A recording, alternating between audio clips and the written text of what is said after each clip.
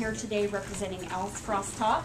Um, we realized that uh, in February, it was 20 years ago that my husband Mark Rosa and his sisters Janet and Carla purchased Al's Frostop.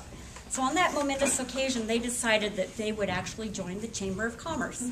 Uh, so we are we're celebrating that 20th year, and uh, we uh, we're proud to be a member of the chamber. We've been a member of the community for so long. It is a family-owned business.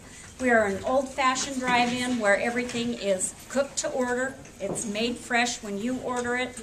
Uh, probably our biggest claim to fame is our homemade onion rings.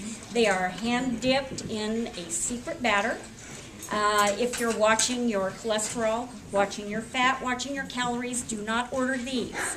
But if you want something to just die for, please come in and try them out. Um, we are located at 44 West Ellis. We're right next to Les Schwab. We're on the highway. Our phone number is 438-5304. Your menu is on the table. Just, you know, come on by, call and order in. We'd love to have you over.